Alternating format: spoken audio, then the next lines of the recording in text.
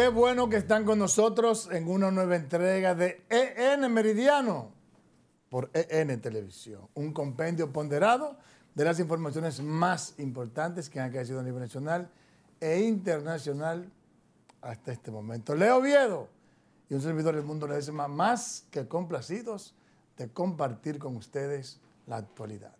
¿Qué tal? Así es, aunque estamos post Nochebuena, pero seguimos. ¿Cómo te fue por San Juan? Tranquilo, tranquilo y bien con la familia. Ah, qué bien. bien. Don Freddy me ha dejado solo a mí esta semana. Sí. Vino el martes, pues ya está, y no ha vuelto más.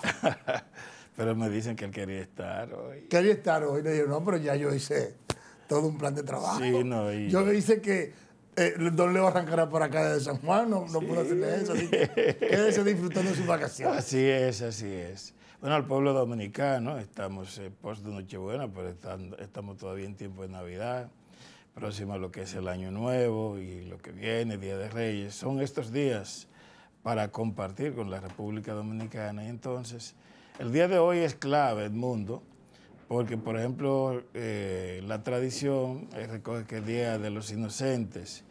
Y creo que un periódico ha hecho una exageración en medio de la broma. ¿El qué?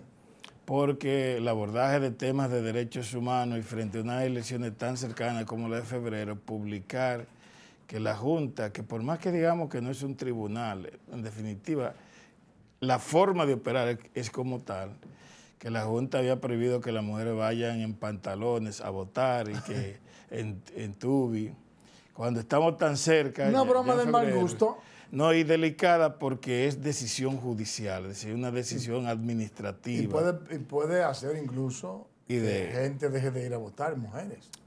Bueno, que, confunda a la gente durante el día de hoy mucho, es decir, con preocupación. Yo me cuido con las bromas. Esa es una broma que se susana mucho antes. Pero yo me cuido con las bromas, por ejemplo.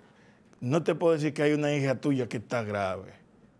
O sea, porque te genera una tensión fuerte, decir, o un tema que, pueda generarte preocupación. definitiva, como ya eso se ha ido aclarando en los medios, bien que se sobrepase, pero la trascendente, y sobre todo para nosotros en el sur, y los especialistas también en temas culturales y la gente que tiene que ver con, con la historia de los pueblos, es que un día como hoy, 28 de diciembre, en el 62, eh, justamente poquitos días después de las elecciones que el profesor Bosch ganó, se produjo la matanza de Palmasola, en las matas de Farfán, con todo el historial de lo que era la presencia espiritual y significativa en materia de lo que fue Liborio, todo la, lo que significó esto como eh, un seguimiento de esos procesos de, de creencia y de liberación. Entonces los mellizos, lo que implicó la presencia de Camaño, la presencia de un importante general de apellido Rodríguez que podía ser el jefe de, la policía, del profesor Bosch, y hechos que se desencadenaron y se volvieron violentos por situación de herido. Hay todo un historial que relatan los historiadores importantes de esta parte de la cultura. Y hoy, que debió ser de gran relevancia nacional, evidentemente son fechas que pasan casi inadvertidas, efemérides, pero desde aquí la destacamos y entonces expresamos nuestro el respeto a todo lo que fue esa tradición, ese proceso de lucha de la República Dominicana, un proceso de organización. Bueno, pues luego de su toque histórico y cultural que usted hace de costumbre, vamos al mambo ahora. Ahora sí. Bueno, pues en esta semana, ayer, los leones, diputados del PRM, aprobaron, por supuesto, una iniciativa del Poder Ejecutivo, nuevas importaciones con arancel cero. Vamos a ver la historia y luego venimos con nuestros comentarios. Durante la sesión y en el momento en que se conocía el proyecto que permite la importación de alimentos, se le vio al presidente de la Cámara de Diputados, Alfredo Pacheco, apurado por completar el quórum para la aprobación del proyecto.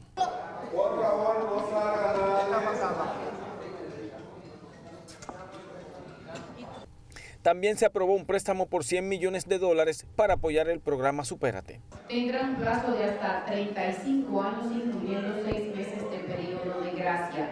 En cuanto a las comisiones, la República Dominicana pagará un BIRF, una comisión inicial de 0.25% del monto total del préstamo en la comisión de compromiso 0.25% anual sobre el saldo de préstamo no retirado. Más temprano también fue aprobada la emisión y colocación de deuda pública por más de 344 mil millones de pesos, este último enviado a comisión para su análisis, por lo que se espera un informe favorable para la aprobación en segunda lectura el próximo viernes 29 de diciembre.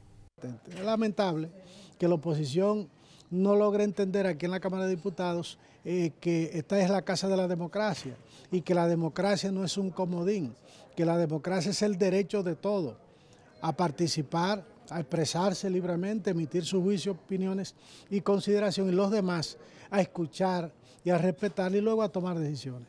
Y entonces la actitud que ellos muestran es de hacer oposición porque están en campaña full y se van a oponer a todo y van a exhibir ese tipo de comportamiento. Son bonos que van a, suplementar el presupuesto por, alrededor de 344 mil millones de pesos. Entonces, este otro préstamo de 100 millones de, pesos es justamente para el programa Supérate, que tanto necesitamos, para las tarjetas, para una serie de, de proyectos de solidaridad. El presidente de la Cámara de Diputados, Alfredo Pacheco, convocó la próxima sesión para el próximo viernes a las 10 de la mañana, donde varias comisiones tienen programado presentar informes sobre el proyecto de bonos soberanos y otras iniciativas pendientes. Vamos por muy mal camino. Y los PRMistas lo están justificando. Señores, estamos hablando de que un un programa como Supérate no puede ser sustentado sobre préstamos. Se supone que eso tiene que ser sustentado por los ingresos ordinarios del Estado Dominicano del gobierno, las recaudaciones ordinarias. Los préstamos generalmente se utilizan para inversión de infraestructura, que aumente la capacidad productiva, que aumente la capacidad competitiva, que aumente la rentabilidad de las empresas. Y con eso el país crece, su PIB crece y en consecuencia ese, ese préstamo se paga él mismo por el incremento del crecimiento económico. Pero por el camino que vamos, lo que estamos es estresando las finanzas públicas. Llegará un momento en que las finanzas públicas serán insostenibles. Y entonces, la preocupación de que este propio año, mientras se siguen incrementando la, eh, se sigue incrementando la deuda pública, entonces este año tenemos un presupuesto que disminuye un 20% el gasto de capital, lo que implica 40 mil millones de, pesos menos en inversión de capital y aumenta un 9% el gasto corriente, que nómina, en 103 mil millones de pesos, con la condición de un incremento impresionante, vertiginoso de la nómina pública. Ese camino de aumentar la nómina con botellas, utilizando lo que se debería de gastar en gasto de capital, ya dije para qué, para aumentar el PIB dominicano, llegará un momento en que dentro de poco tendremos unas finanzas públicas insostenibles. ¿Por qué cada año nos hemos quedado por debajo en la inversión de capital? O porque ese dinero, de manera irresponsable, este gobierno se lo ha pasado tres años y medio comprando, comprando eh, alcaldes. nada de eso es gratis. Y a todos los familiares del alcalde. Eh. Comprando a todos los partidos pequeños que no están en una posición, en una institución, aunque sea pequeña, pero tienen botellas comprando miembros del comité, comité político, altos dirigentes de otros partidos. Y nada de eso es gratis. Una muestra de lo inescrupuloso que es este gobierno es lo que pasó en el Colegio de Abogados, donde el propio candidato del PLD dijo que lo sobornaron, que lo compraron con 5 millones de pesos.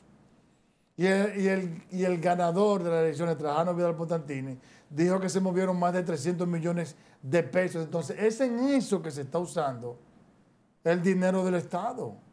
Un verdadero abuso. Entonces, miren la otra. Autorización para importar productos terminados. Ya se sabe lo que implicó para la producción nacional la importación de productos, desalentó el campo, mandó a la quiebra muchísimos productores. Entonces, ¿qué implica que ahora en diciembre se esté autorizando importación? El, la muestra fehaciente del fracaso de la política agropecuaria de este gobierno. Que definitivamente su pensamiento neoliberal, empresarial, oligárquica, oligárquico, lo lleva a preferir las importaciones sobre las exportaciones. Y por eso usted ve, si ve la balanza comercial, se da cuenta que las importaciones se han triplicado en tres años y las exportaciones están por el suelo. Porque se han incentivado las importaciones con esa, esa política de cero arancel y se ha dejado a su suerte al campo dominicano. Por ese camino, evidentemente que nos va a ir mal. Y por eso es que usted ve, además de la ineficiencia se, porque fíjate en una cosa, el, presidente que se hartó con J, ¿eh? se hartó con J de decir que le sobraba los chelitos, una, otra guayaba más, ahora está reconociendo que se necesita para el año que viene una reforma fiscal. Y yo les voy a decir a ustedes lo siguiente. Voy a utilizar, como he utilizado en varias ocasiones, para desmontar eh, o para repudiar y rechazar los argumentos del PRM ahora. Lo mismo que ellos decían con lo que criticaban al PLD, lo están haciendo ahora todo por el grado superlativo. antes se decía, no vamos a firmar el pacto eléctrico porque hay un dispendio. Bueno, pero ahora el PLD que había disminuido significativamente el déficit del sector eléctrico, ahora se ha incrementado. Entonces en el 19 pagamos 500 millones de dólares en subsidio al sistema eléctrico y este año vamos a pagar más de 2 mil millones porque las pérdidas se han incrementado. Cuando eh, en el programa estaba establecido que ahora debería de estar para el 2024 las pérdidas en un 20%, pues ahora la tenemos en más de un 40% dispendio porque han incrementado de una manera impresionante, le han triplicado la nómina del sector eléctrico, no han hecho ninguna inversión y eso ha traído como consecuencia el incremento del déficit del sistema eléctrico, lo que impacta de manera importante las finanzas públicas, razón quizá principal junto a la amortización y pago de la deuda del déficit fiscal y de la insostenibilidad fiscal a que este gobierno está llevando este país. Bueno, entonces... yo para finalizar, yo le digo, le pregunto al presidente, ¿y usted que ha cogido el dinero del Estado para politiquería, para comprar gente, que ha, incrementado la nómina en, casi 300 mil millones de personas, de botellones, yo le voy a hacer una, una reforma fiscal a usted. Yo voy a firmar una reforma fiscal a usted para que usted siga con la brancachela. Está difícil. Digo, la suerte es que ellos no van a estar ahí. Bueno, pero dentro de la óptica gubernamental que yo te sostengo, que ellos siempre tienen otro discurso y lo sustentan. Por ejemplo, yo veo ahora eso, que a través de diferentes economistas en la República Dominicana se está trabajando el tema de la reforma fiscal en los medios de comunicación. son muchas de ellas opiniones supuestamente independientes, son eh, vinculadas al Poder Ejecutivo. Con el tema este de supérate, ahí se han dado todos los fraudes que se han producido y cada vez más el gobierno evidencia situaciones. Por ejemplo, a propósito, hoy aparece una renuncia de la gobernadora de Monteplata, que de seguro tiene las dificultades, esos problemas sociales que se presentan en los pueblos. Supérate. Por ejemplo, ha habido robos millonarios en lo que tiene que ver con ese plan social. Eh, ahora tomar 100 millones de, pesos, de dólares, lo que fuera, eh, para sostener eh, una situación que debe ser en base a los ingresos de la República, pues decía, pero entonces eso se utiliza para el mercadeo político común y, particular que desestima a la gente y lo que hace es empoderar a los dirigentes para ellos decidir qué hacen y no hacen y en definitiva tenemos una situación social que nos llega. Al día de hoy ustedes seguirán escuchando voces de comunitarios como los de Santiago, que le dijeron que le habían entregado una cantidad de, bonos y que no se la dieron en Santo Domingo Norte, en diferentes puntos del país. Ha pasado lo mismo que cantidad que un funcionario municipal compraba whisky en San Francisco, etcétera. Desastre. Pero todo está legitimado porque Aparte de eso, cualquiera que haga una denuncia le caen los votos encima y lo atrapan con toda la maquinaria que tiene el gobierno. Vemos ahí un tema que ha preocupado mucho a la producción y a los diputados ayer, y fue el de la aprobación sin aranceles de nuevo, porque a este gobierno le encanta eso, que en materia de importación alrededor de 6 mil millones de dólares en desmedro de los productores. Ahí están, por ejemplo, los productores de Ocoa, que el gobierno dijo que le iba a dar solidaridad y, resolver con el tema de los puentes, ellos están publicando toda la crisis que tiene Ocoa. Entonces ahora tenemos ese tema del azúcar, que quieren liberarla de, los impuestos para fortalecer más.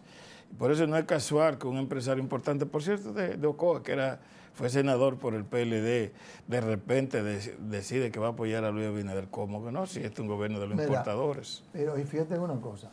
Ahora hay problema con el azúcar, pero la semana pasada, unos colonos del ingenio Porvenir de San Pedro se estaban quejando precisamente porque el gobierno no los está apoyando con la zafra. Claro que no. Lo quiebra, no hay producción de azúcar y entonces importan. Una, es la misma crisis una de la vulgaridad es eso, ¿eh? Eso es una vulgaridad. Eso es, una, eso es lo que se llama arruinar la producción nacional. Los habichueleros de San Juan y por ejemplo, por ejemplo, eh, ahora que, ahorita que hablamos de los, las alcaldías, sucede que cuando tú buscas el presupuesto nacional, desde el punto de vista proporcional, el gobierno que menos ha invertido en lo que tiene que ver con la asignación presupuestaria es este gobierno. Ahora le dejan el mazo al presidente de la República, ¿verdad? Ahogan, asfixian a todos los alcaldes, especialmente a los de la oposición. Esa ha sido la estrategia. Lo asfixian para que entonces diga que viene el chapulín colorado. Y le resuelve. Luis Abinader y le resuelve. Por supuesto, comprándolo vulgarmente lo que está. Porque ha demostrado ser un gobierno sin ningún tipo de escrúpulos. Vamos a la pausa.